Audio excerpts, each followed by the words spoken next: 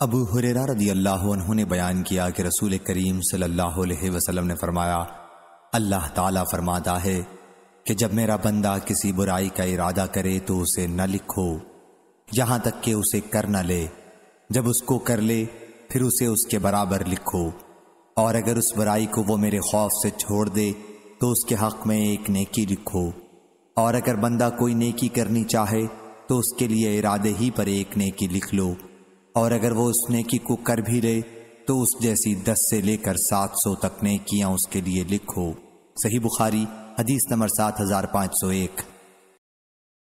अबू हुरेरा रदी अल्लाह ने बयान किया कि रसूल अल्लाह सल्लल्लाहु अलैहि वसल्लम ने फरमाया, अल्लाह ताला ने मखलूक पैदा की, और जब इससे फारिग हो गया तो रहम खड़ा हुआ।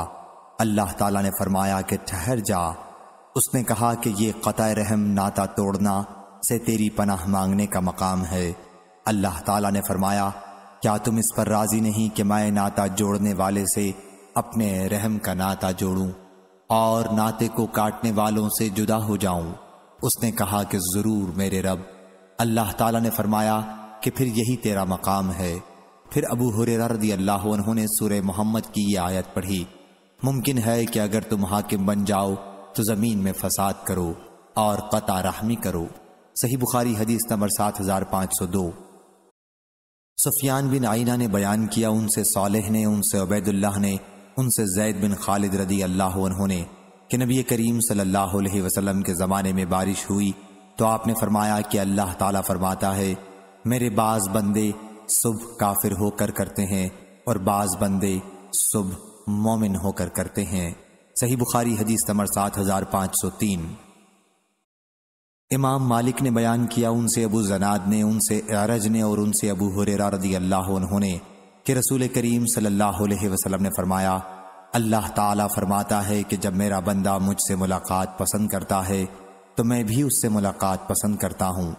और जब वो मुझसे मुलाकात नापसंद करता है तो मैं भी नापसंद करता हूँ।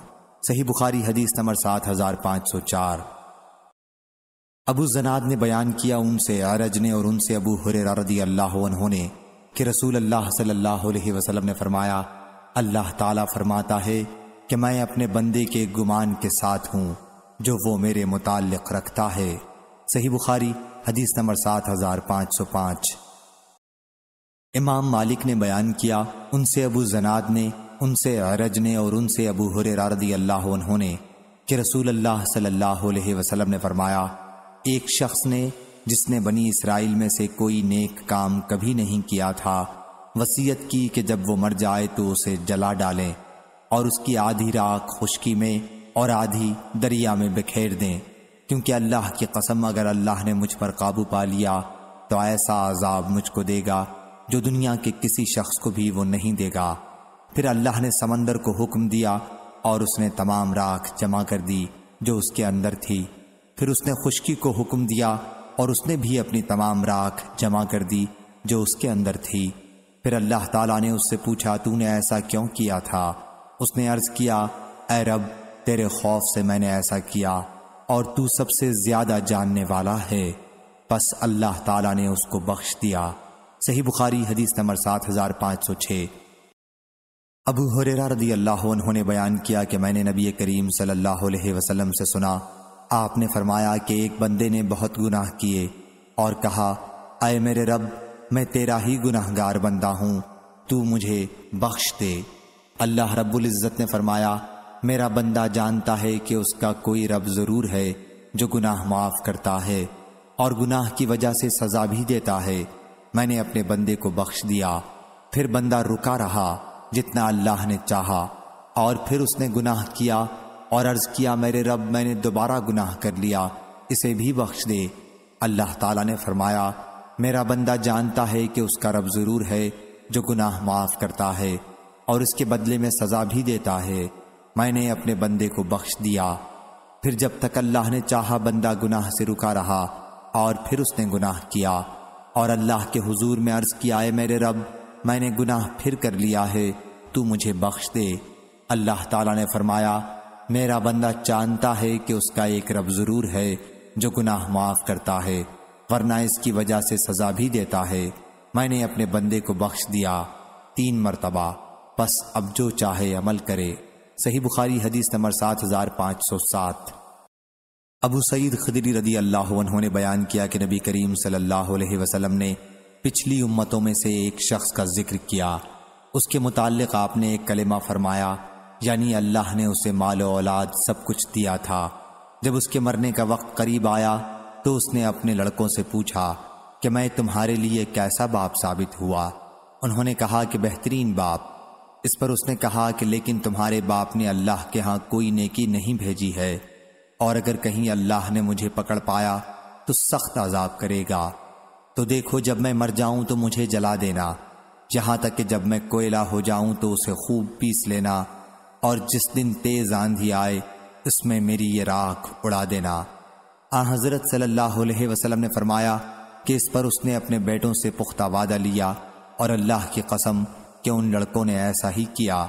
जलाकर राख कर डाला, फिर उन्होंने उसकी राख को तेज हवा के दिन उड़ा दिया।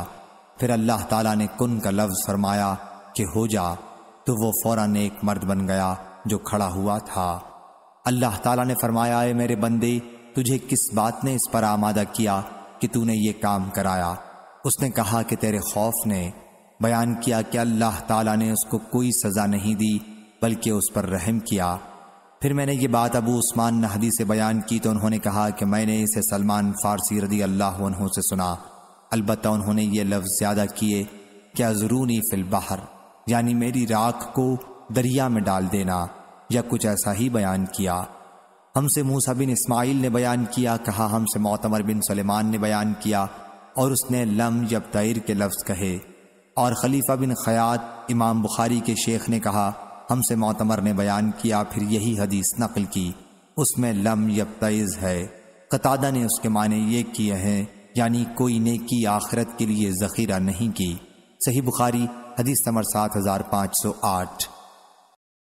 हमीद ने बयान किया कि मैंने अनस रदी अल्लाह से सुना, कहा कि मैंने नबी करीम सल्लल्लाहु अलैहि वसल्लम से सुना। आ, हज़रत सल्लल्लाहु अलैहि वसल्लम ने फरमाया कि क़यामत के दिन मेरी शिफात कबूल की जाएगी। मैं कहूँगा ए रब, जिसके दिल में राई के दाने के बराबर भी ईमान हो, उसको भी जन्नत में दाखिल फरमा दे। ऐसे लोग जन्नत में दाखिल कर दिए जाएँगे। मैं फिर अर्ज़ करूँगा ए रब, जन्नत में इसे भी दाखिल कर दे, जिसके दिल में मामूली सा भी ईमान हो। अनस रदी अल्लाह उन्होंने कहा कि गोया मैं इस वक्त भी यहाँ हज़रत सल्लल्लाहु अलैहि वसल्लम की उंगलियों की तरफ़ देख रहा हूँ। सही बुखारी, हदीस नंबर सात हज़ार पाँच सौ नौ। माबद बिन हिलाल गंजी ने बयान किया, उन्होंने कहा कि बसरा के कुछ लोग हमारे पास जमा हो गए। फिर हम अनस बिन मालिक रदी अल्लाह के पास गए और अपने साथ साबित बनानी रदी अल्लाह को भी ले गए ताकि वो हमारे लिए शफात की हदीस पूछें। हज़रत अनस रदी अल्लाह अपने महल में थे और जब हम पहुँचे तो वो चाश्त की नमाज़ पढ़ रहे थे। हमने मुलाकात की इजाज़त चाही और हमें इजाज़त मिल गई। उस वक्त वो अपने बिस्तर पर बैठे थे। हमने साबित बनानी रदी अल्लाह से कहा था कि हदीस शफात से पहले उनसे और कुछ न पूछना। चनाचा उन्होंने कहा अय अबू हमजा, ये आपके भाई बसरा से आए हैं और आपसे शफात की हदीस पूछना चाहते हैं। उन्होंने कहा कि हमसे मोहम्मद सल्लल्लाहु अलैहि वसल्लम ने बयान किया, आपने फरमाया कि क़यामत का दिन जब आएगा तो लोग ठाठे मारते हुए समंदर की तरह ज़ाहिर होंगे। फिर वो आदम सलाम के पास आएँगे और उनसे कहेंगे कि हमारी अपने रब के पास शिफात कीजिए। वो कहेंगे कि मैं इस काबिल नहीं हूँ, तुम इब्राहिम सलाम के पास जाओ। वो अल्लाह के खलील हैं। लोग इब्राहिम सलाम के पास आएँगे, वो भी कहेंगे कि मैं इस काबिल नहीं हूँ। हाँ तुम मूसा सलाम के पास जाओ कि वो अल्लाह से शर्फ हम कलामी पाने वाले हैं। लोग मूसा सलाम के पास आएँगे और वो भी कहेंगे कि मैं इस काबिल नहीं हूँ। अलबत् तुम ईसा सलाम के पास जाओ कि वो अल्लाह की रूह और उसका कलेमा है। चुनाचा लोग ईसा सलाम के पास आएँगे, वो भी कहेंगे कि मैं इस काबिल नहीं हूँ। हाँ तुम मोहम्मद सल्लल्लाहु अलैहि वसल्लम के पास जाओ।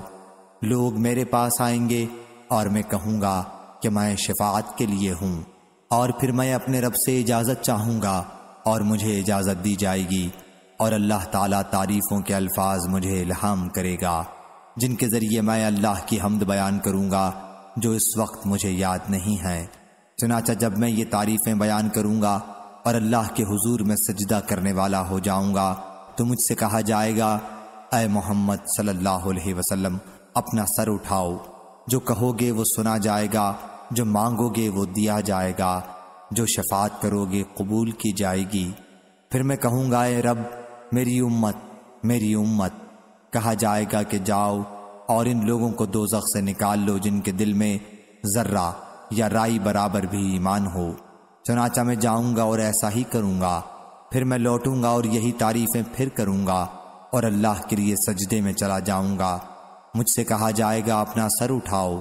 कहो, आपकी सुनी जाएगी। मैं कहूँगा ए रब, मेरी उम्मत मेरी उम्मत। अल्लाह ताला फरमाएगा, जाओ और जिसके दिल में एक राई के दाने के कम से कम तर हिस्से के बराबर भी ईमान हो, उसे भी जहन्नुम से निकाल लो। फिर मैं चला जाऊँगा और निकाल लूँगा। फिर जब हम अनस रदी अल्लाह के पास से निकले तो मैंने अपने बाद साथियों से कहा कि हमें इमाम हसन बसरी रहमत के पास भी चलना चाहिए। वो उस वक्त अबू खलीफा के मकान में थे और इनसे वो हदीस बयान करनी चाहिए, जो अनस रदी अल्लाह उन्होंने हमसे बयान की है। चनाचा हम उनके पास आए और उन्हें सलाम किया। फिर उन्होंने हमें इजाज़त दी और हमने उनसे कहा अय अबू सईद रदी अल्लाह हो हम आपके पास आपके भाई अनस बिन मालिक रदी अल्लाह के यहाँ से आए हैं और उन्होंने हमसे जो शिफात के मुतालिक हदीस बयान की, उस जैसी हदीस हमने नहीं सुनी। उन्होंने कहा, बयान करो। हमने उनसे हदीस बयान की।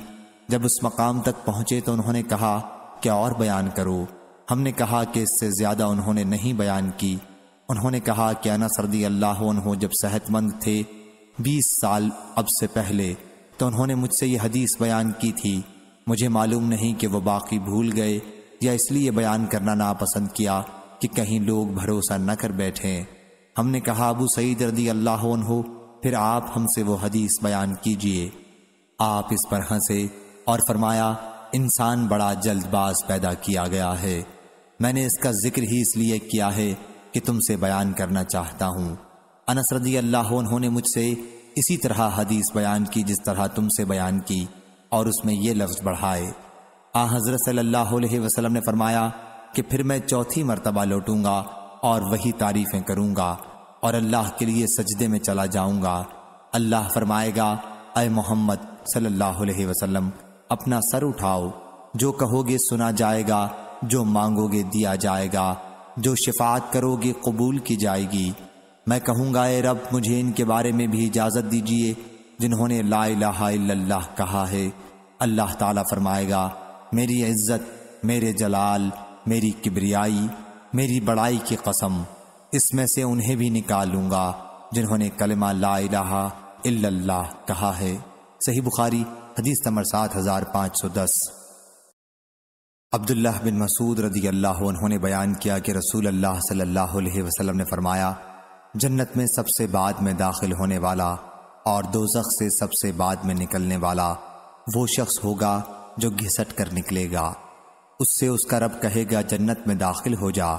वो कहेगा, मेरे रब जन्नत तो बिल्कुल भरी हुई है। इस तरह अल्लाह ताला तीन मरतबा उससे ये कहेगा और हर मरतबा ये बंदा जवाब देगा कि जन्नत तो भरी हुई है। फिर अल्लाह फरमाएगा, तेरे लिए दुनिया के दस गुना है। सही बुखारी, हदीस नंबर सात हज़ार पाँच सौ ग्यारह। अदीबिन हातिम रदी अल्लाह ने बयान किया कि रसूल अल्लाह सल्लल्लाहु अलैहि वसल्लम ने फरमाया, तुम में से हर शख्स से तुम्हारा रब इस तरह बात करेगा कि तुम्हारे और उसके दरमियान कोई तर्जमान नहीं होगा। वो अपनी दाएँ तरफ़ देखेगा और उसे अपने अमाल के सिवा और कुछ नज़र नहीं आएगा। और वो अपनी बाएँ तरफ़ देखेगा और उसे अपने आमाल के सिवा कुछ नज़र नहीं आएगा। फिर अपने सामने देखेगा तो अपने सामने जहन्नुम के सिवा और कोई चीज़ न देखेगा। बस जहन्नुम से बचो। खाह खजूर के एक टुकड़े ही के ज़रिए हो सके। आमिश ने बयान किया कि मुझसे उम्रो बिन मरा ने बयान किया। उनसे खैसमा ने इसी तरह और उसमें यह लफ्ज़ ज़्यादा किए कि जहन्नुम से बचो। खाह एक अच्छी बात ही के ज़रिए हो। सही बुखारी, हदीस नंबर सात हज़ार पाँच सौ बारह। अब्दुल्ला बिन मसूद रदी अल्लाह ने बयान किया कि यहूदियों का एक आलिम खिदमत नबवी में हाजिर हुआ और कहा, जब क़यामत कायम होगी तो अल्लाह ताला आसमानों को एक उंगली पर, ज़मीन को एक उंगली पर पानी और कीचड़ को एक उंगली पर और तमाम मखलूक़ात को एक उंगली पर उठा लेगा और फिर उसे हिलाएगा और कहेगा, मैं बादशाह हूँ, मैं बादशाह हूँ। मैंने देखा कि आ हज़रत सल्लल्लाहु अलैहि वसल्लम हंसने लगे यहाँ तक कि आपके दंदान मुबारक खुल गए। इसकी बात की तस्दीक और ताज्जुब करते हुए फिर आ हज़रत सल्लल्लाहु अलैहि वसल्लम ने यह आयत पढ़ी। उन्होंने अल्लाह की शान के मुताबिक कदर नहीं की। इरशाद खुदाबंदी युशरकून तक। सही बुखारी हदीस नंबर सात हज़ार पाँच सौ तेरह। सफ़ान बिन महरस ने बयान किया कि एक शख्स ने इबन उमर रदी अल्लाह से पूछा, सरगोशी के बारे में, क्या आपने रसूल अल्लाह सल्लल्लाहु अलैहि वसल्लम से किस तरह सुना है? उन्होंने बयान किया, तुम में से कोई अपने रब के करीब जाएगा, यहाँ तक कि अल्लाह ताला अपना पर्दा उस पर डाल देगा, और कहेगा, तूने ये ये अमल किया था। बंदा कहेगा कि हाँ चुनाचा वो इसका इकरार करेगा। फिर अल्लाह ताला फरमाएगा कि मैंने दुनिया में तेरे गुनाह पर पर्दा डाला था और आज भी तुझे माफ़ करता हूँ। आदम बिन अबी अयास ने बयान किया, कहा हमसे शेबान ने बयान किया, कहा हमसे कतादा ने बयान किया, कहा हमसे सफ़ान ने बयान किया, उनसे इबन उमर रदी अल्लाह उन्होंने कि मैंने रसूल करीम सल्लल्लाहु अलैहि वसल्लम से सुना। सही बुखारी हदीस नंबर सात हज़ार पाँच सौ चौदह। अबू हुरेरा रदी अल्लाह उन्होंने बयान किया कि नबी करीम सल्लल्लाहु अलैहि वसल्लम ने फरमाया, आदम और मूसा सलाम ने बहस की। मूसा सलाम ने कहा कि आप आदम हैं, जिन्होंने अपनी नस्ल को जन्नत से निकाला। आदम सलाम ने कहा कि आप मूसा सलाम हैं, जिन्हें अल्लाह ने अपने पैगाम और कलाम के लिए मुंतखब किया, और फिर भी आप मुझे एक ऐसी बात के लिए मलामत करते हैं, जो अल्लाह ने मेरी पैदाइश से पहले ही मेरी तकदीर में लिख दी थी। चुनाचा आदम सलाम मूसा सलाम पर गालिब आए। सही बुखारी हदीस नंबर सात हज़ार पाँच सौ पंद्रह। अनस रदी अल्लाह उन्होंने बयान किया कि रसूल अल्लाह सल्लल्लाहु अलैहि वसल्लम ने फरमाया, ईमान वाले क़यामत के दिन जमा किए जाएँगे और वो कहेंगे कि काश कोई हमारी शिफात करता, ताकि हम अपनी इस हालत से निजात पाते। चनाचा वो आदम सलाम के पास आएँगे और कहेंगे कि आप आदम हैं, इंसानों के परदादा। अल्लाह ने आपको अपने हाथ से पैदा किया, आपको सजदा करने का फरिश्तों को हुक्म दिया और हर चीज़ के नाम आपको सिखाए। बस आप अपने रब के हुजूर में हमारी शिफात करें। आप जवाब देंगे कि मैं इस काबिल नहीं हूँ और आप अपनी गलती उन्हें याद दिलाएँगे जो आपसे सरजद हुई थी। सही बुखारी, हदीस नंबर सात हज़ार पाँच सौ सोलह। शरीक बिन अब्दुल्ला बिन अबी ने बयान किया उन्होंने बयान किया कि मैंने अनस बिन मालिक रदी अल्लाह से सुना। उन्होंने वो वाक़ बयान किया जिस रात रसूल अल्लाह सल्लल्लाहु अलैहि वसल्लम को मस्जिद काबा से महराज के लिए ले जाया गया कि वही आने से पहले आपके पास फरिश्ते आए। आ हज़रत सल्लल्लाहु अलैहि वसल्लम मस्जिद हराम में सोए हुए थे। उनमें से एक ने पूछा कि वो कौन है? दूसरे ने जवाब दिया कि वो इनमें सबसे बेहतर हैं। तीसरे ने कहा कि इनमें जो सबसे बेहतर हैं, उन्हें ले लो। इस रात को बस इतना ही वाक़ पेश आया। और आ हज़रत सल्लल्लाहु अलैहि वसल्लम ने इसके बाद उन्हें नहीं देखा। यहाँ तक कि वो दूसरी रात आए, जबकि आपका दिल देख रहा था और आपकी आँखें सो रही थीं। लेकिन दिल नहीं सो रहा था। अम्बिया का यही हाल होता है। उनकी आँखें सोती हैं, लेकिन उनके दिल नहीं सोते। चुनाचा उन्होंने आपसे बात नहीं की। बल्कि आपको उठाकर जमजम के कुएँ के पास लाए। जहाँ जबरील अलैहिस्सलाम ने आपका काम संभाला और आपके गले से दिल के नीचे तक सीना चाक किया और सीना और पेट को पाक करके जमजम के पानी से उसे अपने हाथ से धोया। यहाँ तक कि आपका पेट साफ़ हो गया। फिर आपके पास सोने का तश्त लाया गया, जिसमें सोने का एक बर्तन ईमान हिकमत से भरा हुआ था। उससे आपके सीने और हलक की रगों को सिया। और इसे बराबर कर दिया। फिर आपको लेकर आसमान दुनिया पर चढ़े और उसके दरवाज़ों में से एक दरवाजे पर दस्तक दी। आसमान वालों ने उनसे पूछा, आप कौन हैं? उन्होंने कहा, जबरील अलैहिस्सलाम उन्होंने पूछा, और आपके साथ कौन है? जवाब दिया कि, मेरे साथ मोहम्मद सल्लल्लाहु अलैहि वसल्लम है। पूछा, क्या इन्हें बुलाया गया है? जवाब दिया कि हाँ। आसमान वालों ने कहा, खूब, अच्छे आए। और अपने ही लोगों में आए। आसमान वाले इससे खुश हुए। उनमें से किसी को मालूम नहीं होता कि अल्लाह ताला ज़मीन में क्या करना चाहता है, जब तक वो इन्हें बता न दे। आ, हज़रत सल्लल्लाहु अलैहि वसल्लम ने आसमान दुनिया पर आदम सलाम को पाया।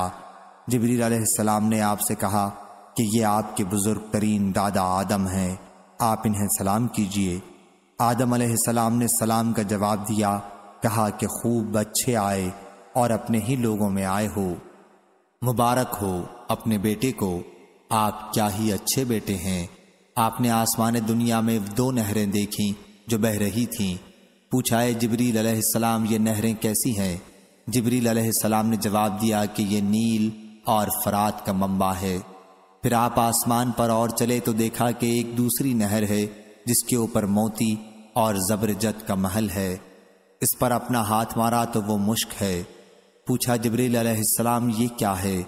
जवाब दिया कि, ये कौसर है, जिसे अल्लाह ने आपके लिए महफूज रखा है।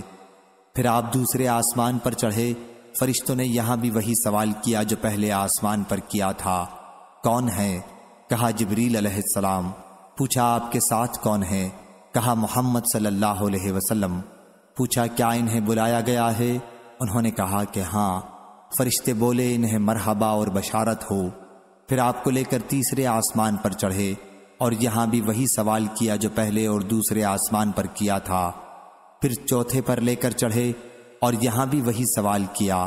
फिर पाँचवें आसमान पर आपको लेकर चढ़े, और यहाँ भी वही सवाल किया। फिर छठे आसमान पर आपको लेकर चढ़े, और यहाँ भी वही सवाल किया। फिर आपको लेकर सातवें आसमान पर चढ़े, और यहाँ भी वही सवाल किया। हर आसमान पर अंबिया हैं जिनके नाम आपने लिए। मुझे ये याद है कि इदरीस सलाम दूसरे आसमान पर, हारून चौथे आसमान पर और दूसरे नबी पाँचवें आसमान पर, जिनके नाम मुझे याद नहीं। और इब्राहिम सलाम छठे आसमान पर और मूसा सलाम सातवें आसमान पर। यह उन्हें अल्लाह ताला ने शर्फ हम कलामी की वजह से फजीलत मिली थी। मूसा सलाम ने कहा, मेरे रब मेरा ख्याल नहीं था कि किसी को मुझसे बढ़ाया जाएगा। फिर जबरील अलैहिस्सलाम उन्हें लेकर इससे भी ऊपर गए, जिसका इल्म अल्लाह के सिवा और किसी को नहीं। यहाँ तक कि आपको सिदरतुलमतहा पर लेकर आए और रब्बुल इज़्ज़त तबारक व ताला करीब हुए और इतने करीब जैसे कमान के दोनों किनारे या उससे भी करीब। फिर अल्लाह ने और दूसरी बातों के साथ आपकी उम्मत पर दिन और रात में पचास नमाजों की भी वही की। फिर आप उतरे और जब मूसा सलाम के पास पहुँचे तो उन्होंने आपको रोक लिया और पूछा अय मोहम्मद सल्लल्लाहु अलैहि वसल्लम, आपके रब ने आपसे क्या अहद लिया है? फरमाया कि मेरे रब ने मुझसे दिन और रात में पचास नमाजों का अहद लिया है। मूसा ने फरमाया, कि आपकी उम्मत में इसकी ताकत नहीं। वापस जाइए और अपनी और अपनी उम्मत की तरफ़ से कमी की दरख्वास्त कीजिए। चनाचा आ हज़रत सल्लल्लाहु जबरील की तरफ़ मुतवज्जा हुए और उन्होंने भी इशारा किया कि हाँ अगर चाहें तो बेहतर है। चनाचा आप फिर उन्हें लेकर अल्लाह ताला की बारगाह में हाजिर हुए और अपने मकाम पर खड़े होकर अर्ज़ किया अय रब, हमसे कमी कर दे, क्योंकि मेरी उम्मत इसकी ताकत नहीं रखती। चनाचा अल्लाह ताला ने दस नमाजों की कमी कर दी। फिर आप मूसा के पास आए तो उन्होंने आपको रोका। मूसा सलाम, आप सल्लल्लाहु अलैहि वसल्लम को इसी तरह बराबर अल्लाह रब्बुल के पास वापस करते रहे। यहाँ तक कि पाँच नमाजें हो गईं। पाँच नमाजों पर भी उन्होंने यहाँ हज़रत सल्लल्लाहु अलैहि वसल्लम को रोका और कहा है मोहम्मद सल्लल्लाहु अलैहि वसल्लम, मैंने अपनी कौम बनी इसराइल का तजर्बा इससे कम पर किया है। वो नातवा साबित हुए और उन्होंने छोड़ दिया आपकी उम्मत तो जिस्म, दिल, बदन, नज़र और कान हर एतबार से कमज़ोर है। आप वापस जाइए और अल्लाह रब्बुल इज़्ज़त इसमें भी कमी कर देगा। हर मरतबा हज़रत सल्लल्लाहु अलैहि वसल्लम जबरील अलैहिस्सलाम की तरफ़ मुतवज्जा होते थे ताकि उनसे मशवरा लें और जबरील अलैहिस्सलाम इसे नापसंद नहीं करते थे। जब वो आपको पांचवी मरतबा भी ले गए तो अर्ज़ किया ए रब, मेरी उम्मत, जिस्म, दिल, निगाह और बदन हर हैसियत से कमज़ोर है। बस हमसे और कमी कर दे। अल्लाह ताला ने इस पर फरमाया कि वो कौल मेरे यहाँ बदला नहीं जाता, जैसा कि मैंने तुम पर उम्मुल किताब में फ़र्ज़ किया है। और फरमाया कि हर नेकी का सवाब दस गुना है। बस ये उम्मुल किताब में पचास नमाजें हैं, लेकिन तुम पर फ़र्ज़ पाँच ही है। चनाचा आप मूसा के पास वापस आए और उन्होंने पूछा, क्या हुआ?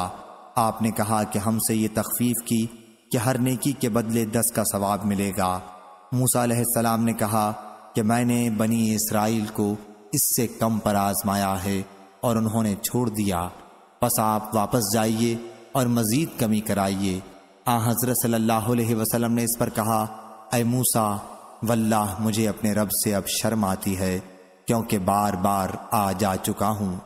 उन्होंने कहा कि फिर अल्लाह का नाम लेकर उतर जाओ। फिर जब आप बेदार हुए तो मस्जिद हराम में थे कि जाग उठे। जाग उठने से ये मुराद है कि वो हालत महराज की जाती रही और आप अपनी हालत में आ गए। सही बुखारी हदीस नंबर सात हज़ार पाँच सौ सत्रह। अबू सईद खदरी रदी अल्लाह उन्होंने बयान किया कि नबी करीम सल्लल्लाहु अलैहि वसल्लम ने फरमाया, अल्लाह ताला जन्नत वालों से कहेगा अय जन्नत वालों, वो बोलेंगे, हाजिर तेरी खिदमत के लिए मुस्तैद। सारी भलाई तेरी दोनों हाथों में है। अल्लाह ताला पूछेगा, क्या तुम खुश हो? वो जवाब देंगे, क्यों नहीं? हम खुश होंगे अरब रब, और तूने हमें वो चीज़ें अता की हैं जो किसी मखलूक को नहीं अता की। अल्लाह ताला फरमाएगा, क्या मैं तुम्हें इससे अफजल इनाम न दूँ? जन्नती पूछेंगे अरब रब, इससे अफजल क्या चीज़ हो सकती है? अल्लाह ताला फरमाएगा कि, मैं अपनी खुशी तुम पर उतारता हूँ, और अब कभी तुमसे नाराज़ नहीं होगा सही बुखारी हदीस नंबर सात हज़ार पाँच सौ अट्ठारह। अबू हुरेरा रदी अल्लाह उन्होंने बयान किया, रसूल करीम सल्लल्लाहु अलैहि वसल्लम एक दिन गुफ्तगु कर रहे थे। उस वक्त आपके पास एक बदवी भी था। कि अहल जन्नत में से एक शख्स ने अल्लाह ताला से खेती की इजाज़त चाही। तो अल्लाह ताला ने कहा कि क्या वो सब कुछ तुम्हारे पास नहीं है जो तुम चाहते हो? वो कहेगा कि ज़रूर है, लेकिन मैं चाहता हूँ कि खेती करूँ। चनाचा बहुत जल्दी वो बेच डालेगा और पलक झपकने तक उसका अगना बराबर कटना और पहाड़ों की तरह गले के अंबार लग जाना हो जाएगा। अल्लाह ताला कहेगा, इब्ने आदम, इसे ले ले, तेरे पेट को कोई चीज़ नहीं भर सकती। देहाती ने कहा, या रसूल अल्लाह सल्लल्लाहु अलैहि वसल्लम, इसका मज़ा तो कुरैशी या अंसारी ही उठाएँगे, क्योंकि वही खेती बाड़ी वाले हैं। हम तो किसान हैं नहीं। आ हज़रत सल्लल्लाहु अलैहि वसल्लम को ये बात सुनकर हँसी आ गई।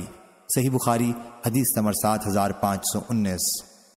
अब्दुल्ला बिन मसूद रदी अल्लाह उन्होंने बयान किया कि मैंने नबी करीम सल्लल्लाहु अलैहि वसल्लम से पूछा कि कौन सा गुनाह अल्लाह के यहाँ सबसे बड़ा है?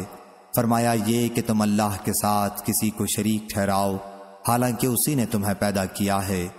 मैंने कहा यह तो बहुत बड़ा गुनाह है। मैंने अर्ज़ किया, फिर कौन सा? फरमाया ये कि तुम अपने बच्चे को इस खतरे की वजह से कत्ल कर दो कि वो तुम्हारे साथ खाएगा। मैंने अर्ज़ किया, फिर कौन? फरमाया ये कि तुम अपने पड़ोसी की बीवी से जिना करो। सही बुखारी, हदीस नंबर सात हज़ार पाँच सौ बीस।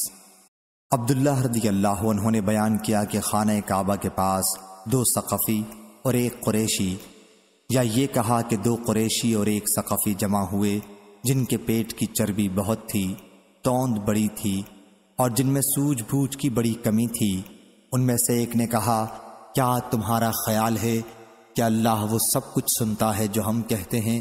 दूसरे ने कहा कि जब हम ज़ोर से बोलते हैं तो सुनता है, लेकिन अगर हम आहिस्ता बोलें तो नहीं सुनता।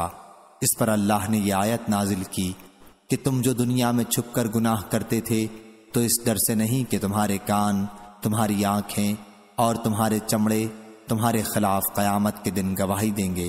आखिर तक। सही बुखारी, हदीस नंबर सात हज़ार पाँच सौ इक्कीस। इबन अब्बास रदी अल्लाह उन्होंने बयान किया कि तुम अहले किताब से उनकी किताबों के मसाइल के बारे में क्यों कर सवाल करते हो? तुम्हारे पास खुद अल्लाह की किताब मौजूद है, जो ज़माने के एतबार से भी तुम सबसे ज़्यादा करीब है। तुम इसे पढ़ते हो, वो खालिस है, इसमें कोई मिलावट नहीं। सही बुखारी, हदीस नंबर सात हज़ार पाँच सौ बाईस। अब्दुल्ला बिन अब्बास रदी अल्लाह उन्होंने बयान किया, क्या मुसलमानों, तुम अहले किताब से किसी मसले में क्यों पूछते हो? तुम्हारी किताब जो अल्लाह ताला ने तुम्हारे नबी सल्लल्लाहु अलैहि वसल्लम पर नाजिल की है, वो अल्लाह के यहाँ से बिल्कुल ताज़ा आई है, खालिस है, इसमें कोई मिलावट नहीं हुई।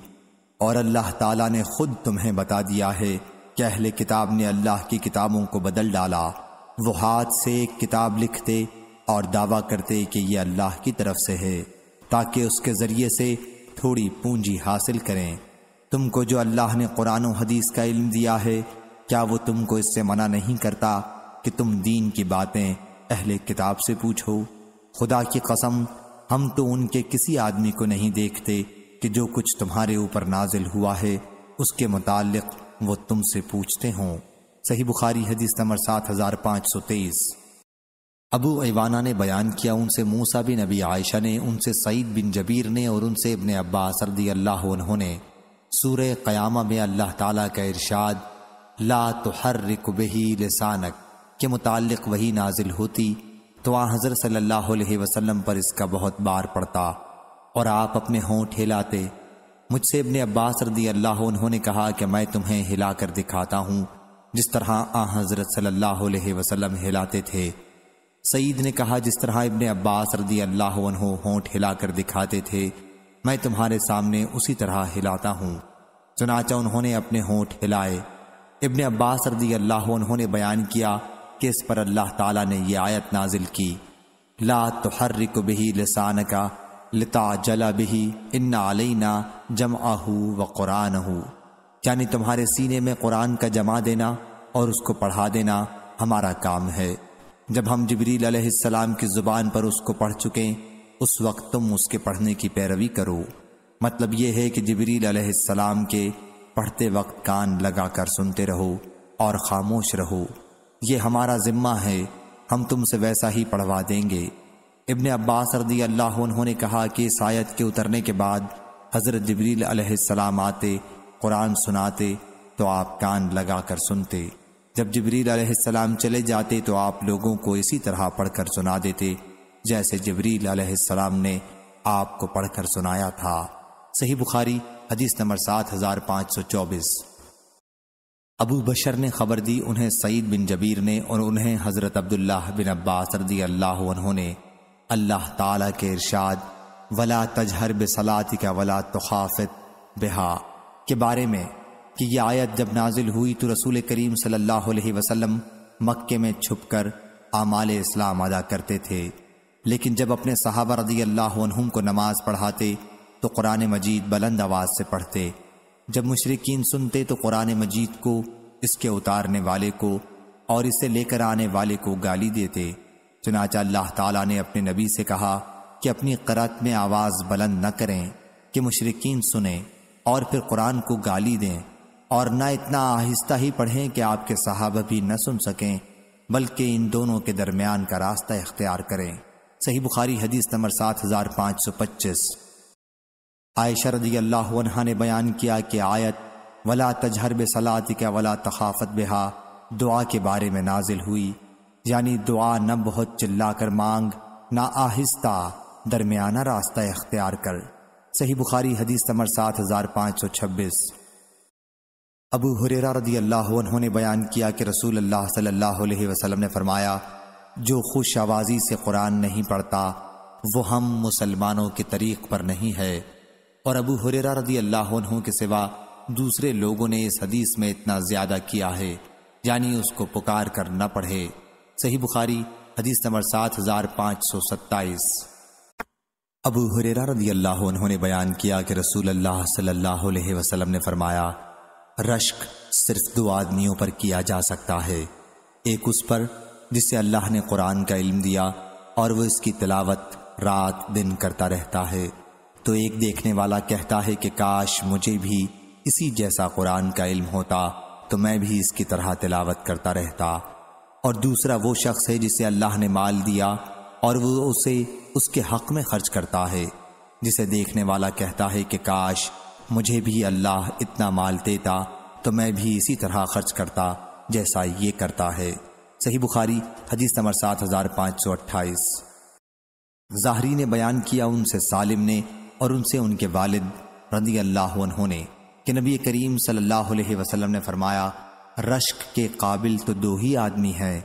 एक वो जिसे अल्लाह ने कुरान दिया और वो उसकी तिलावत रात दिन करता रहता है, और दूसरा वो जिसे अल्लाह ने माल दिया हो, और वो उसे रात दिन खर्च करता रहा। अली बिन अब्दुल्लाह ने कहा कि मैंने यह हदीस सुफियान बिन आइना से कई बार सुनी, लेकिन अखबरना के लफ्ज़ों के साथ उन्हें कहता नहीं सुना। बावजूद इसके कि उनकी यह हदीस सही और मुतसिल है। सही बुखारी, हदीस नंबर सात हज़ार पाँच सौ उनतीस। जबीर बिन हया ने बयान किया, उनसे मुगीरा बिन शाबा रदी अल्लाह उन्होंने ईरान की फौज के सामने कहा कि हमारे नबी सल्लल्लाहु अलैहि वसल्लम ने हमें अपने रब के पैगाम में से ये पैगाम पहुँचाया कि हम में से जो फ़ी सबील्लाह कत्ल किया जाएगा, वो जन्नत में जाएगा। सही बुखारी हदीस नंबर सात हज़ार पाँच सौ तीस।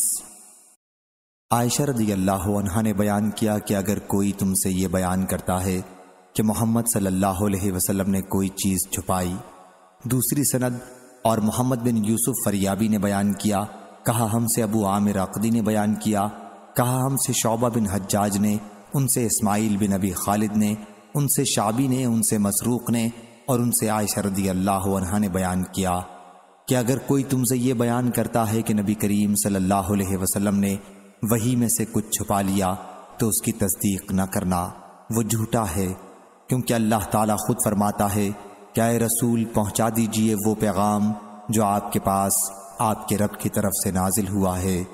और अगर आपने ये नहीं किया तो आपने अपने रब का पैगाम नहीं पहुँचाया।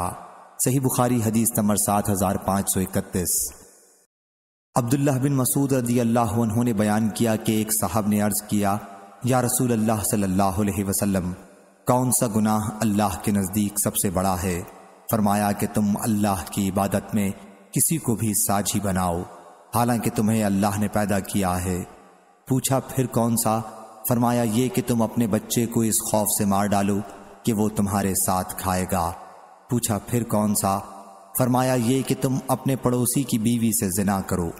चुनाचा अल्लाह ताला ने सूर्य फुरकान में इसकी तस्दीक में कुरान नाजिल फरमाया, और वो लोग जो अल्लाह के साथ किसी दूसरे मबूद बातिल को नहीं पुकारते और जो किसी ऐसे की जान नहीं लेते, जिसे अल्लाह ने हराम किया है, सिवा हक के। और जो जना नहीं करते, और जो कोई ऐसा करेगा, वो गुनाह से भिड़ जाएगा। सही बुखारी, हदीस नंबर सात हज़ार पाँच सौ बत्तीस। सालिम ने खबर दी और उन्हें अब्दुल्लाह बिन उमर अल्लाह उन्होंने कि रसूल करीम सल्लल्लाहु अलैहि वसल्लम ने फरमाया गुज्त उम्मतों के मुकाबले में तुम्हारा वजूद ऐसा है, जैसे आसर और मगरिब के दरमियान का वक्त। अहल तौरात को तो रात दी गई तो उन्होंने इस पर अमल किया। यहाँ तक कि दिन आधा हो गया और वो आजिज हो गए। फिर उन्हें एक एक किरात दिया गया। फिर अहले इंजील को इंजील दी गई और उन्होंने इस पर अमल किया। यहाँ तक कि असर की नमाज़ का वक्त हो गया। उन्हें भी एक एक किरात दिया गया। फिर तुम्हें कुरान दिया गया और तुमने इस पर अमल किया। यहाँ तक कि मगरिब का वक्त हो गया। तुम्हें दो दो किरात दिए गए। इस पर अहले किताब ने कहा कि यह हमसे अमल में कम है और अजर में ज़्यादा। अल्लाह ताला ने फरमाया, क्या मैंने तुम्हारा हक देने में कोई जुल्म किया है? उन्होंने जवाब दिया कि नहीं। अल्लाह ताला ने फरमाया कि फिर ये मेरा फजल है, मैं जिसे चाहूँ दूँ। सही बुखारी हदीस नंबर सात हज़ार पाँच सौ तैंतीस। मोहम्मद बिन अब्दुलरहीम ने बयान किया, कहा हमसे अबू जैद सईद बिन रबी हरवी ने, कहा हमसे शौबा ने, उनसे कतादा ने और उनसे अनस रदी अल्लाह उन्होंने कि नबी करीम सल्लल्लाहु अलैहि वसल्लम ने अपने रब से रिवायत किया कि अल्लाह पाक फरमाता है कि जब बंदा मुझसे एक बालिश करीब होता है तो मैं एक हाथ उससे करीब होता हूँ। और जब बंदा मुझसे एक हाथ करीब होता है तो मैं उससे दो हाथ करीब होता हूँ। और जब वो मेरे पास पैदल चल कर आता है तो मैं दौड़ कर आ जाता हूँ। सही बुखारी हदीस नंबर सात हज़ार पाँच सौ छत्तीस। अबू हुरेरा रदी अल्लाह उन्होंने बयान किया कि अक्सर नबी करीम सल्लल्लाहु अलैहि वसल्लम ने फरमाया, कि अल्लाह ताला फरमाता है कि जब बंदा मुझसे एक बालिश करीब होता है तो मैं उससे एक हाथ करीब हो जाता हूँ। और जब वो एक हाथ करीब आता है तो मैं उससे दो हाथ करीब होता हूँ। और मोतमर ने कहा कि मैंने अपने वालिद से सुना, उन्होंने अनस रदी अल्लाह से सुना कि नबी करीम सल्लल्लाहु अलैहि वसल्लम अपने रब अज्ज वजल से रिवायत करते थे। सही बुखारी हदीस नंबर सात हज़ार पाँच सौ सैंतीस। मोहम्मद बिन जयाद ने बयान किया, कहा कि मैंने अबू हुरेरा रदी अल्लाह से सुना, उनसे नबी करीम सल्लल्लाहु अलैहि ने अल्लाह ताला से रिवायत करते हैं कि परवरदिगार ने फरमाया, हर गुनाह का एक कफ़ारा है, जिससे वो गुनाह माफ़ हो जाता है, और रोज़ा ख़ास मेरे लिए है, और मैं ही उसकी जजा दूँगा, और रोज़ेदार के मुँह की बू अल्लाह के नज़दीक मुश्क की खुशबू से बढ़कर है। सही बुखारी हदीस नंबर सात हज़ार पाँच सौ अड़तीस। इबन अब्बास रदी अल्लाह उन्होंने बयान किया कि नबी करीम सल्लल्लाहु अलैहि वसल्लम ने अपने परवरदिगार से रिवायत किया। परवरदिगार ने फरमाया कि किसी बंदे के लिए मुनासिब नहीं कि ये कहे कि मैं यूनुस बिन मती से बेहतर हूँ और आपने यूनुस को उनके बाप की तरफ़ नस्बत दी। सही बुखारी हदीस नंबर सात हज़ार पाँच सौ उनतालीस। अब्दुल्ला बिन मखफल मजनी ने बयान किया कि मैंने फ़तेह मक्का के दिन रसूल अल्लाह सल्लल्लाहु अलैहि वसल्लम को देखा कि आप अपनी एक ऊँटनी पर सवार थे और सूर्य अल फतह पढ़ रहे थे या सूर्य अल फतह में से कुछ आयात पढ़ रहे थे। उन्होंने बयान किया कि फिर आपने उसमें तरजीह की। शौबा ने कहा, यह हदीस बयान करके मुआविया ने इस तरह आवाज़ दोहरा कर करत करता जैसे अब्दुल्ला बिन मगफल रदी अल्लाह किया करते थे। और मुआविया ने कहा, अगर मुझको इसका ख्याल न होता कि लोग तुम्हारे पास जमा होकर हजूम करेंगे तो मैं इसी तरह आवाज़ दोहरा कर करत करता, जिस तरह अब्दुल्ला बिन मगफल रदी अल्लाह ने आ हज़रत सल्लल्लाहु अलैहि वसल्लम की तरह आवाज़ दोहराने को नकल किया था। शोबा ने कहा, मैंने मुआविया से पूछा, इब्न मगफल रदी अल्लाह क्यों कर आवाज़ दोहराते थे? उन्होंने कहा, आ आ आ। तीन तीन बार मद के साथ आवाज़ दोहराते थे। सही बुखारी, हदीस नंबर सात हज़ार पाँच सौ चालीस। इब्न अब्बास रदी अल्लाह उन्होंने बयान किया कि मुझे अबू सुफियान बिन हरब ने खबर दी कि हरकल ने अपने तर्जुमान को बुलाया। फिर नबी करीम सल्लल्लाहु अलैहि वसल्लम का ख़त मंगवाया और उसे पढ़ा। शुरू अल्लाह के नाम से जो नहायत रहम करने वाला बड़ा मेहरबान है।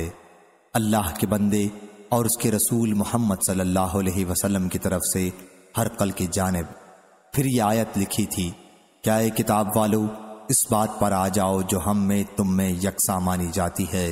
आखिर आयत तक। सही बुखारी हदीस नंबर सात हज़ार पाँच सौ इकतालीस। हज़रत अबू हुरेरा रदी अल्लाह ने बयान किया कि अहल किताब तो रात को इबरानी में पढ़ते और मुसलमानों के लिए उसकी तफसीर अरबी में करते थे। इस पर आ हज़रत सल्लल्लाहु अलैहि वसल्लम ने फरमाया कि तुम ना अहल किताब की तस्दीक करो और न उनकी तकजीब, बल्कि कहो कि हम अल्लाह और उसकी तमाम नाजिल की हुई किताबों पर ईमान लाए। सही बुखारी, हदीस नंबर सात हज़ार पाँच सौ बयालीस। अब्दुल्ला बिन उमर रदी अल्लाह उन्होंने बयान किया कि नबी करीम सल्लल्लाहु अलैहि वसल्लम के पास एक यहूदी मर्द और औरत लाए गए, जिन्होंने जिना किया था। आ हज़रत सल्लल्लाहु अलैहि वसल्लम ने यहूदियों से पूछा कि तुम इनके साथ क्या करते हो? उन्होंने कहा कि हम इनका मुँह काला करके इन्हें रुसवा करते हैं। आ हज़रत सल्लल्लाहु अलैहि वसल्लम ने फरमाया कि फिर तौरात लाओ और इसकी तलावत करो, अगर तुम सच्चे हो। चनाचा वो तौरात लाए और एक शख्स से जिस पर वो मुतमिन थे कहा कि, ए और पढ़ो। चनाचा उसने पढ़ा और जब उसके एक मकाम पर पहुँचा तो उस पर अपना हाथ रख दिया। आ हज़रत सल्लल्लाहु अलैहि वसल्लम ने फरमाया, कि अपना हाथ उठाओ। जब उसने अपना हाथ उठाया तो उसमें आयत रजम बिल्कुल वाजह तौर पर मौजूद थी। उसने कहा, ए मोहम्मद सल्लल्लाहु अलैहि वसल्लम, इन पर रजम का हुक्म तो वाकई है, लेकिन हम इसे आपस में छुपाते हैं। चुनाचा दोनों रजम किए गए। मैंने देखा कि मर्द औरत को पत्थर से बचाने के लिए उस पर झुका पड़ता था। सही बुखारी, हदीस नंबर सात हज़ार पाँच सौ तैरालीस अबू हुरेरा रदी अल्लाह उन्होंने बयान किया कि उन्होंने नबी करीम सल्लल्लाहु अलैहि वसल्लम से सुना, आपने फरमाया कि अल्लाह ताला किसी चीज़ को इतनी तवज्जो से नहीं सुनता, जितनी तवज्जो से अच्छी आवाज़ से पढ़ने पर नबी सल्लल्लाहु अलैहि वसल्लम के कुरान मजीद को सुनता है। सही बुखारी, हदीस नंबर सात हज़ार पाँच सौ चवालीस। इब्न शहाब ने बयान किया, उन्हें उर्वा बिन जुबैर, सईद बिन मुसैब, अलकमा बिन वक़ास और उबैदुल्लाह बिन अब्दुल्लाह ने खबर दी। आयशा रदी अल्लाह की बात के सिलसिले में जब तहमत लगाने वालों ने उन पर तहमत लगाई थी और इन रावियों में से हर एक ने वाक़े का एक एक हिस्सा बयान किया कि हज़रत आयशा रदी अल्लाह ने बताया, फिर मैं रोते रोते अपने बिस्तर पर लेट गई और मुझे यकीन था कि जब मैं इस तहमत से बरी हूँ तो अल्लाह ताला मेरी बरात करेगा। लेकिन वल्लाह, इसका मुझे गुमान भी न था कि मेरे बारे में कुरान की आयात नाजिल होंगी। जिनकी क़यामत तक तिलावत की जाएगी। और मेरे ख्याल में मेरी हैसियत इससे बहुत कम थी कि अल्लाह मेरे बारे में पाक कलाम नाजिल फरमाएगा, जिसकी तिलावत होगी। और अल्लाह ताला ने सूर नूर की आयत नाजिल की। बिलाशिबा वो लोग जिन्होंने तहमत लगाई, पूरी दस आयतों तक। सही बुखारी हदीस नंबर सात हज़ार पाँच सौ पैंतालीस। अबू नाइम ने बयान किया, कहा, हमसे मौसर ने, उनसे अदी बिन साबित ने मेरा यकीन है कि उन्होंने बरा बिन आजिब रदी अल्लाह से नकल किया। उन्होंने कहा कि मैंने नबी करीम सल्लल्लाहु अलैहि वसल्लम से सुना कि आप ईशा की नमाज़ में वत्तीन वज़ैतून पढ़ रहे थे। मैंने आ हज़रत सल्लल्लाहु अलैहि वसल्लम से ज़्यादा बेहतरीन आवाज़ से कुरान पढ़ते हुए किसी को नहीं सुना। सही बुखारी हदीस नंबर सात हज़ार पाँच सौ छियालीस। हज़रत अब्दुल्ला बिन अब्बास रदी अल्लाह उन्होंने बयान किया कि जब नबी करीम सल्लल्लाहु मक्का मुकर्रमा में छुप कर तबलीग करते थे तो कुरान बुलंद आवाज़ में पढ़ते। मुशरकिन जब सुनते तो कुरान को बुरा भला कहते और इसके लाने वाले को बुरा भला कहते। इस पर अल्लाह ताला ने अपने नबी सल्लल्लाहु अलैहि वसल्लम से फरमाया कि अपनी नमाज़ में ना आवाज़ बुलंद करो और न बहुत पस्त। सही बुखारी हदीस नंबर सात हज़ार पाँच सौ सैतालीस। अबू सईद खदरी रदी अल्लाह उन्होंने खबर दी कि उन्होंने उनसे कहा मेरा ख्याल है कि तुम बकरियों को और जंगल को पसंद करते हो। बस जब तुम अपनी बकरियों में या जंगल में हो और नमाज़ के लिए अजान दो तो बुलंद आवाज़ के साथ दो, क्योंकि मुआजिन की आवाज़ जहाँ तक भी पहुँचेगी और उसे जिन्नो इंस और दूसरी जो चीज़ें भी सुनेंगी, वो क़यामत के दिन इसकी गवाही देंगी। अबू सईद खदरी रदी अल्लाह ने बयान किया कि मैंने इस हदीस को रसूल अल्लाह सल्लल्लाहु अलैहि वसल्लम से सुना है। सही बुखारी, हदीस नंबर सात हज़ार पाँच सौ अड़तालीस। आयशा रदी अल्लाह ने बयान किया कि नबी करीम सल्लल्लाहु अलैहि वसल्लम उस वक्त भी कुरान पढ़ते थे जब आपका सर मुबारक मेरी गोद में होता और मैं हालत हैज़ में होती। सही बुखारी, हदीस नंबर सात हज़ार पाँच सौ उनचास। उमर बिन खत्ताब रदी अल्लाह ने बयान किया कि मैंने हशाम बिन हकीम रदी अल्लाह को रसूल करीम सल्लल्लाहु अलैहि की ज़िंदगी में सूरतुल फुरकान पढ़ते सुना। मैंने देखा कि वो कुरान मजीद बहुत से ऐसे तरीक़ों से पढ़ रहे थे, जो आ हज़रत सल्लल्लाहु अलैहि वसल्लम ने हमें नहीं पढ़ाए थे। करीब था कि नमाज़ ही में उन पर मैं हल्ला कर दूँ, लेकिन मैंने सब्र से काम लिया। और जब उन्होंने सलाम फेरा तो मैंने उनकी गर्दन में अपनी चादर का फंदा लगा दिया और उनसे कहा, तुम्हें ये सूरत इस तरह किसने पढ़ाई है? जिससे मैंने अभी तुमसे सुना। उन्होंने कहा कि मुझे इस तरह रसूल करीम सल्लल्लाहु अलैहि वसल्लम ने पढ़ाई है। मैंने कहा, तुम झूठे हो। मुझे खुद आ हज़रत सल्लल्लाहु अलैहि वसल्लम ने इससे मुख्तलिफ़ करत सिखाई है, जो तुम पढ़ रहे थे। चुनाचा मैं उन्हें खींचता हुआ हज़रत सल्लल्लाहु अलैहि वसल्लम के पास ले गया और अर्ज़ किया कि मैंने इस शख्स को सूरतुल इस तरह पढ़ते सुना, जो आपने मुझे नहीं सिखाई। आ हज़रत सल्लल्लाहु अलैहि वसल्लम ने फरमाया कि इन्हें छोड़ दो। हशाम रदी अल्लाह हो तुम पढ़कर सुनाओ। उन्होंने वही करत पढ़ी जो मैं उनसे सुन चुका था। आ, हज़रत वसल्लम ने फरमाया कि इसी तरह यह सूरत नाजिल हुई है। आए उमर रदी अल्लाह हो अब तुम पढ़ो। मैंने उस करत के मुताबिक पढ़ा जो आप सल्लल्लाहु अलैहि वसल्लम ने मुझे सिखाई थी। आ, हज़रत सल्लल्लाहु अलैहि वसल्लम ने फरमाया कि इस तरह भी नाजिल हुई है। यह कुरान अरब की सात बोलियों पर उतारा गया है। बस तुम्हें जिस करत में सहूलत हो, पढ़ो। सही बुखारी, हदीस नंबर सात हज़ार पाँच सौ पचास। मतरफ बिन अब्दुल्लाह ने बयान किया, उनसे इमरान रदी अल्लाह उन्होंने कि मैंने कहा, या रसूल अल्लाह सल्लल्लाहु अलैहि वसल्लम, फिर अमल करने वाले किस लिए अमल करते हैं? आ, हज़रत सल्लल्लाहु अलैहि वसल्लम ने फरमाया कि हर शख्स के लिए इस अमल में आसानी पैदा कर दी गई है, जिसके लिए वो पैदा किया गया है। सही बुखारी, हदीस नंबर सात हज़ार पाँच सौ इक्यावन। शौबा ने बयान किया उनसे मंसूर और आमिश ने उन्होंने साद बिन उबैदा से सुना। उन्होंने अबू अब्दुलरहमान असलमी से और उन्होंने अली रदी अल्लाह से कि नबी करीम सल्लल्लाहु अलैहि वसल्लम एक जनाजे में थे। फिर आपने एक लकड़ी ली और उससे ज़मीन कुरेदने लगे। फिर फरमाया, तुम में कोई ऐसा नहीं जिसका ठिकाना जहन्नुम में या जन्नत में लिखा न जा चुका हो। साहब रदी अल्लाह ने कहा, फिर हम इसी पर भरोसा न कर लें। आ वसल्लम ने फरमाया कि हर शख्स के लिए इस अमल में आसानी पैदा कर दी गई, जिसके लिए वो पैदा किया गया है। फिर आप सल्लल्लाहु अलैहि वसल्लम ने यह आयत पढ़ी कि जिस शख्स ने बख्शिश की और तकवा इख्तियार किया। आखिर आयत तक। सही बुखारी हदीस नंबर सात हज़ार पाँच सौ बावन। अबू हुरेरा रदी अल्लाह ने बयान किया कि हज़रत सल्लल्लाहु अलैहि वसल्लम ने फरमाया, अल्लाह ताला जब खलकत का पैदा करना ठहरा चुका, या जब खलकत पैदा कर चुका तो उसने अर्श के ऊपर अपने पास एक किताब लिख कर रखी। उसमें यूँ है, मेरी रहमत मेरे गुस्से पर गालिब है, या मेरे गुस्से से आगे बढ़ चुकी है। सही बुखारी हदीस नंबर सात हज़ार पाँच सौ तिरपन। कतादा ने बयान किया, उनसे अबू राफे ने हदीस बयान की। उन्होंने अबू हुरेरा रदी अल्लाह से सुना उन्होंने बयान किया कि मैंने रसूल अल्लाह सल्लल्लाहु अलैहि वसल्लम से सुना, आपने फरमाया कि अल्लाह ताला ने मखलूक को पैदा करने से पहले एक मकतूब लिखा कि मेरी रहमत मेरे गज़ब से बढ़कर है। चुना चाहिए इसके पास अर्श के ऊपर लिखा हुआ है।